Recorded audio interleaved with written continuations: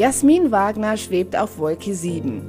Die Sängerin, die in den 90er Jahren als Blümchen bekannt wurde, ist frisch verliebt. Dieses Jahr ist die Liebe wieder in mein Leben getreten. Zu Weihnachten wird meine Familie das erste Mal meinen neuen Freund kennenlernen, erzählte die 41-Jährige dem Magazin Bunte. Dabei gibt sie auch ein paar Details über ihren neuen Freund preis. Er ist Däne, Mitte 30 und Unternehmer in der Modeindustrie.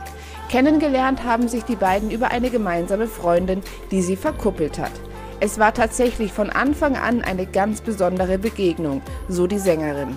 Derzeit ist Jasmin Wagner noch mit dem Unternehmer Frank Sippel verheiratet.